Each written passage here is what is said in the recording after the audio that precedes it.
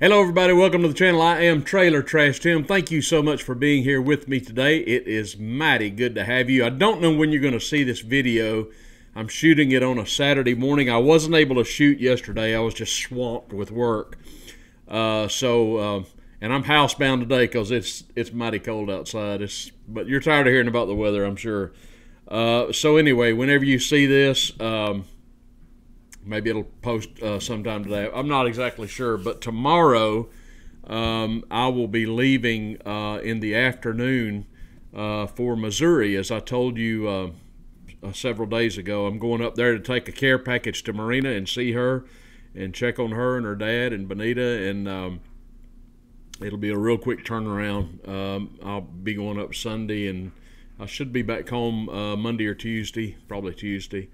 Uh, but I'll take you along with me, and I'll do a little bit of filming, and uh, maybe I'll get Marina on camera so she can say hey to you as well.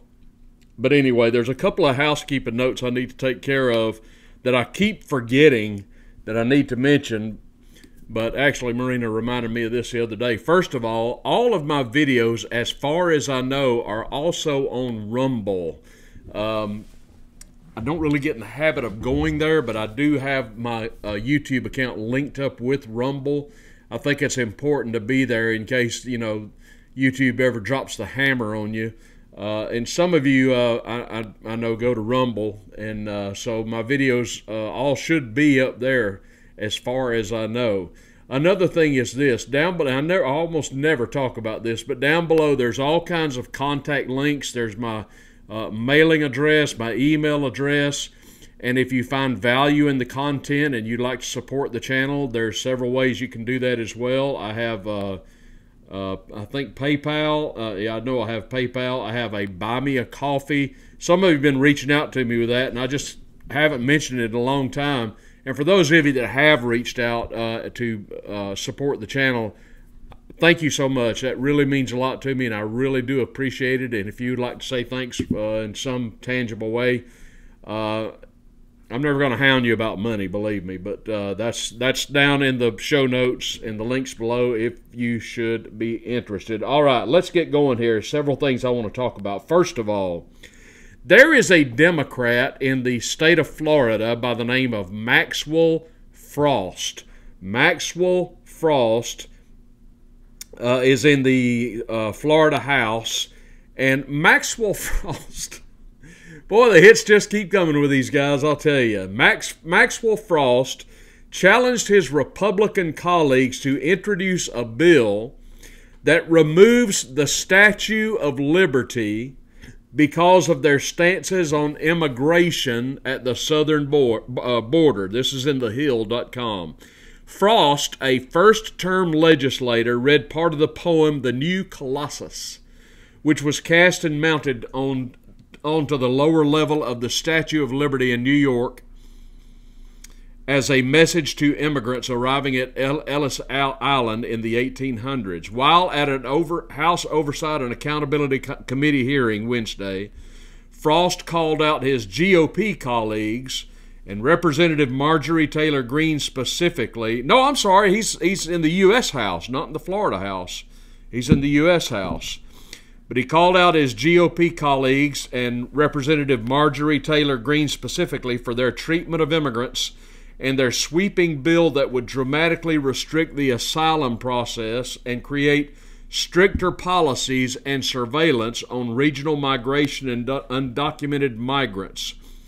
Frost said immigrants deserved better than what they are being offer, offered. Quote, don't welcome them if you plan to reject them. If you keep pushing your bigoted H.R. 2 bill, then also pass this bill. I've taken the liberty of drafting it for you, Frost said, holding up a piece of paper. It removes the Statue of Liberty, our largest symbol that tells people to come here. This is who you are removing the fabric of America. So I want to know which Republican who supports and voted for H.R. 2 will introduce this bill, he continued. If you're going to support H.R. 2 and these bigoted measures, the least you can do is not be a damn liar, unquote. Oh, would I like five minutes in the room with this old boy? Frost accused GOP lawmakers of being more interested in peddling hate than finding solutions that will fix the immigration system. Where to start with Mr. Frost? Maxwell Frost of Florida. This boy needs to be taken out to the woodshed because he ain't right in the head. Now, where to begin with this guy? All right, first of all, let's let's talk about immigration for a moment and let's talk about a nation protecting its borders, okay? Because this guy has got a really bad case of cognitive dissonance. If you have a nation then your nation, if you wish to keep your nation, has to be fortified with borders. That's just basic stuff, right? You just understand that. If you're going to have a nation, you have to protect your nation with some kind of border. Otherwise, you'll just get, I mean, homeowners understand this for heaven's sakes. How many of you lock your door at night? How many of you have a, a fence in your front yard or backyard or what have you? or you own a piece of property and you have it protected with some kind of fence or, or structure of some kind. I mean, this is just common sense, is it not? Is there not a gate around the White House? Well, isn't that like, I don't know, bigoted or racist or whatever? Maxwell Frost is saying that anybody who uh, you know, is, is not agreeing with this stance on immigration is a bigot. That's what he's saying. Now, First of all, we've got to understand terms here, okay? What, uh, what Mr. Frost calls immigrants, I call illegal aliens, okay? And there is a difference. Let's say you have a hardworking man and his wife and their children uh, that are living in Poland, for example, and because of um, of maybe political strife or, or persecution of some kind. They want to immigrate into the United States. They're coming to the United States because they want to be Americans. They want to enjoy the liberty and freedom that they've heard about. And they go through the legal process of immigration. That's how it is supposed to be done, ideally and typically. Mr. Frost does not understand that's not what we're dealing with right now. What we're dealing with now is a deluge on our borders. We are being bombarded every day with all sorts of illegal aliens, people we know nothing about. And we are losing our sovereignty as a nation because of it. But in Mr. Frost world, anybody that says anything about it is a bigot. And he says, Yeah, what you evil Republicans need to do is sign my bill so that we can move the Statue of Liberty out of Ellis Island. Okay, you're talking about apples, Mr. Frost. We're talking about oranges. You don't know what the hell you're talking about, to put it bluntly. We're not talking about the immigration, legal immigration of legal individuals who want to legally immigrate into the United States. We are talking about a border that is so porous, everybody and anybody can come into our country without restriction. Nobody's stopping them. Nobody's going to stop them, and they know it. The word's been put out. And this is what uh, Joe Biden wants, and this is what Alejandro Mayorkas wants. They got no problem with illegal immigration. They are trying to, as Obama said, fundamentally transform America. And they're doing so. And anytime any Republican, such as MJT, stands up against it, she's called a bigot, don't you know?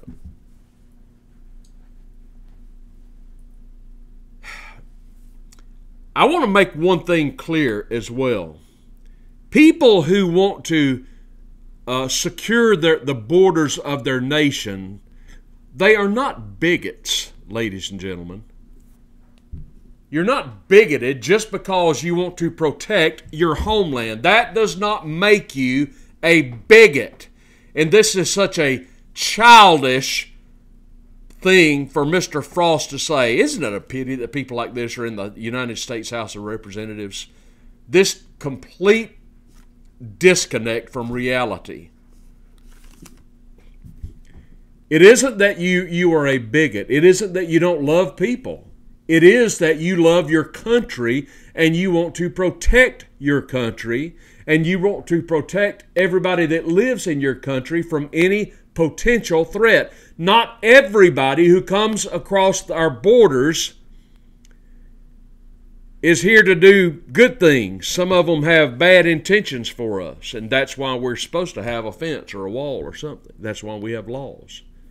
So, Mr. Uh, Mr. Frost, it's back to school for you, buddy, because you don't know what you're talking about, and you basically need to grow up. You you you are a typical Democrat who cannot handle a serious subject without quickly resorting to name calling. Somebody disagrees with you and they're instantly labeled a bigot. Well, just because we don't agree with you does not make us a bigot. I'll tell you what it does do it makes you wrong, buddy. Oh, man. All right, here's another one. Let's go on to another member of Congress of the Democrat style. How many of you know of Looney Ted Lieu? Ted Lieu is an, uh, I guess you would call him an Asian American, and he is from the, the state of California. He is in the House of Representatives. Now, let me ask you a question quickly. What would you say the number one issue that is uh, affecting America right now is? What what's what would you say is the number one issue that we need to get a handle on? We need to tackle right now. Would you say it's illegal illegal aliens, illegal immigration? Would you say it's inflation? Would you say it's war? I mean, these are all valid valid ideas, right? The, all these are serious problems we need to tackle. Well, for Ted Lieu, let me tell you what he thinks is the biggest problem facing America. This is from the Gateway Pundit. Brace yourselves. Representative Ted Lieu, Democrat of California, is introducing a bill in Congress to ban the sale and use of rodent glue traps. I kid you not. Furthermore, the bill is co sponsored by who else? That's right, Pencil Neck Geek, otherwise known as Congressman Adam Schiff, also from California. Now, who knows what a glue trap is? A glue trap is a uh, is one option that you have if you have a problem with rodents. If you have mice or rats somewhere, uh, and you call the uh, pest control people out to your house to tend to the uh, the infestation to whatever degree you have, or you can do this yourself. You can set out a trap with cheese or peanut butter or whatever. But another deterrent that they make now is a glue trap, and I have used these before, and they work. You just set a glue trap out and uh, go to bed and sleep peacefully. And the the next uh, day, you may well have a critter who is uh, embedded inside the glue trap and he can't get out. Uh, but for Ted Lieu, that's a bad thing. We can't. That's cruel and unusual. So Ted Lieu is introduced. oh, we live. This is clown world, folks. This is clown world. Uh, and Ted uh, Ted Lieu wants to um, ban them. This is what he says: "Quote." Glue traps are ruthless, inhumane, and can be dangerous to the health of humans and their pets. No, Ted. There are numerous other ways to trap small animals that don't prolong their suffering. As a proud member of the Animal Protection Caucus, I'm pleased to introduce this bill to stop the needless suffering of these animals. Never in my life have I been concerned about the suffering of a rat ever. I wonder if he's got a problem with Raid for cockroaches as well, because they're animals too, you know. You know what's sad about this? Ted Lieu cares more about rats, apparently, than he does people. Because I could pretty well tell you where he stands on the issue, for example, of abortion. But rats, Rats. We can't have rats suffering out there, folks. Don't you know? If you've got if you've got a glue trap around your house, you are a you are a evil person, and you need to get rid of the glue trap because you don't want to make any rats suffer. The suffering of rats is way down my list of priorities. I got to be honest with you. I just don't give rats much of a thought unless they're in and around my house, in which case I'm going to do something about them. And among the things I will do about them is use a glue trap, Teddy. Sorry. But if a glue trap helps me uh, get rid of mice or rats, guess who's buying a glue trap? Thankfully, I don't have that problem as far as I know because I've got a uh, little uh, rat eater running around here somewhere, if you know what I mean. Every now and then, Kiki will bring a mouse up to the deck, and she's whining and whimpering. But and I'll just pat her on the head, and say, "Good job, now get that thing out of here." Not very often, but uh, anyway. All right, let's move on. I want to talk about the vice presidential sweepstakes uh, real quickly. Uh, Donald Trump is uh, almost surely uh, going to be getting the GOP nomination by this point. This coming Tuesday, of course is the New Hampshire primary, which he is expected to win and win handily. Uh, Ron DeSantis has already pulled out of New Hampshire. Uh, I would, I would, I would pretty much predict DeSantis is toast, and well, he, that's not a tough prediction to make, but I would predict he's probably going to be getting out of this thing very soon. There's no path for DeSantis. There's no path uh, for neocon uh, Nimrata Nikki Haley the primary after New Hampshire is South Carolina, and that's where uh, Nimrata Nikki Haley, the neocon, used to be governor. Uh, she is almost surely to lose her home state to Donald Trump, uh, who also just got an endorsement uh, the other day from Senator Tim Scott, also of South Carolina. So Nikki Haley is going to lose her home state to Donald Trump. Uh, Ron DeSantis is going to lose Florida to Donald Trump. This is a fait accompli. Uh, and one can only speculate as to why Haley and DeSantis are uh, sticking around. Something may be afoot. Don't be surprised. I've talked about that before. Uh, but anyway, you, you, you start to wonder who Trump. My nose is itching off my face. Please pardon me, but man, it's itching maybe somebody's coming to see me, right? Who's going? Who's Trump going to pick as vice president? I got several names I want to throw at you. I don't know what he's going to do. I do know that uh, Don Jr. is really high on Tucker Carlson. I would be fine with Tucker uh, Tucker Carlson as vice president. Uh, my first choice, uh, if I were making the choice uh, for Trump, would uh, probably be Vivek Ramaswamy. I would also would not mind him selecting Rand Paul as vice president. That would be fine with me as well. It's interesting that he just got this endorsement from Tim Scott, the uh, senator from South Carolina. Some are speculating that Scott uh, may have a shot at the vice presidential sweepstakes as well. Um, how about J.D. Vance of Ohio? He might be a good pick. Byron Donalds' name has been mentioned. Uh, Byron Donalds, of the congressman from uh, Florida. Um, uh, I don't think Kari Lake would be an option. She's running for Senate in uh, Arizona. Um, and there's another senator. Now his name is escaping me, but I don't think they'd want to give up that seat. Um, but I want to throw a name at you that I don't think I've heard anybody else mention in terms of uh, the vice presidency this this uh, man uh, would not be my first choice, but I would not mind if Trump chose him because I think he's he's pretty sharp, and he also brings, uh, you know, you presidents presidents used to select vice presidents during you know before they were elected based on whether or not they thought the vice president could deliver his home state for them. That's that was the thinking when Kennedy selected Lyndon Johnson he, the thinking was Lyndon Johnson would help deliver Texas uh, for Kennedy. I don't know if that's true or not. And of course, the fact is that Kennedy and Johnson pretty much hated each other, but that was the thought to be the politically expedient thing to do. I don't know if that's still so much a factor any longer because now we've seen uh, vice presidents not deliver their home states. I don't really know if it matters. I know Gore uh, lost his own state when he ran for president. He, he got beat in Tennessee by George Bush.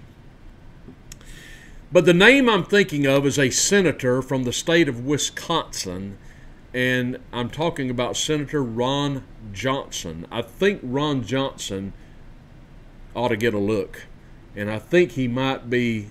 I think he's a fairly solid senator, fairly conservative uh, senator, and I, I think uh, he's got a spine.